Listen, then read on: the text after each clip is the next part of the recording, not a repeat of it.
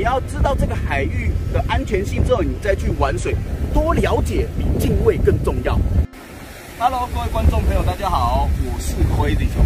熊哥最近呢有看到一部影片了吗？是另外一个 YouTube 拍的，他是 J 爸。首先呢，我整部影片都已经看完了，这边要先跟这个 YouTube 讲一声感谢，就是跟大家讲说离岸流的危险性。但是熊哥是个常年在海边跟海打交道的 YouTuber，在这边有几点他的错误的点跟他的这个补充，跟大家讲一下。第一，并不是所有的消波块都会形成离岸流。我们要知道啊，离岸流并不是只有在消波块会形成。他自己影片里也有也有讲到，他影片里有讲到说，他那一天去那边游泳。他回来的时候遇到了离岸流，以他游不回来。他游不回来，最后他抓着消波块回来了。那代表什么？代表说消波块救了他一命。说消波块救了他一命。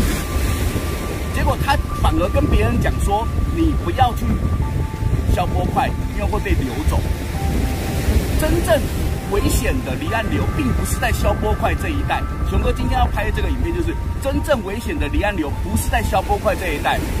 真正危险离岸流，离岸流到处都有。你在你在消波块遇到离岸流，你可以抓着消波块回来，也可以抓上来。虽然你会受伤，但是你不会死。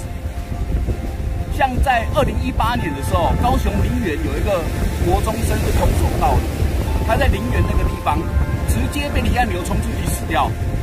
为什么他没有活？因为没有东西可以抓。他那个旁边全部边全部没有没有没有消波块，它就被流走。它流走了之后呢，就死了。它死的地方就是常常熊哥常常在打鱼的地方，在打鱼的地方。所以真正危险的并不是消波块的离岸流。我们现在呢在高雄西子湾，而且消波块也不一定全部的消波块都有离岸流。我们现在要过来看一下来。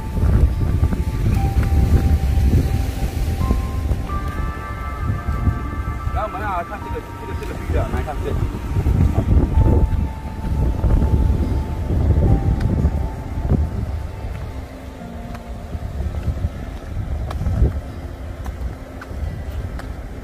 我们现在来看啊，这边这一块，这边这一个确实会有产生离岸流，但是它的水流是非常的。非常的缓的，它不会那么强。我们来看这一条，这一条就是，这一条就是。我们来看非常明显，这一条就是。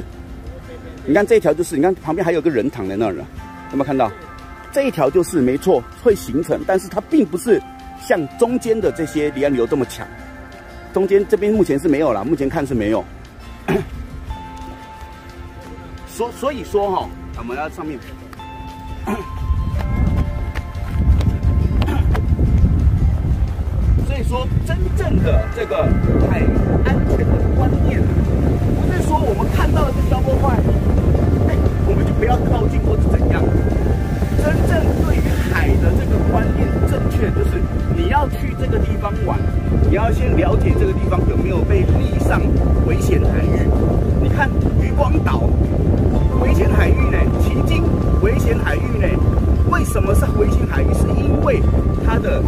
这个潮汐，然后它的地形所造成它的危险的海域。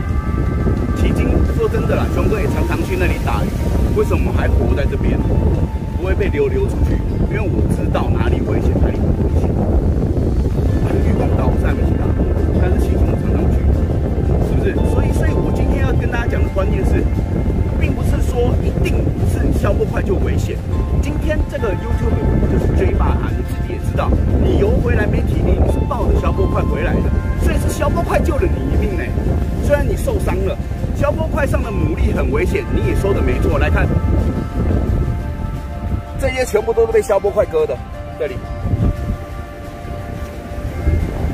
消波块上面的牡蛎很锐利，没错，但是它救了你一命。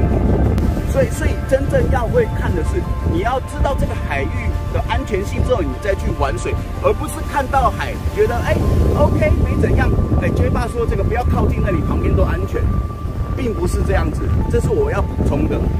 但是我这边还是很就是感谢这个 J 爸有跟大家讲说，呃，离岸流的危险性。但是我们来看这一条离岸流并不是那么危险。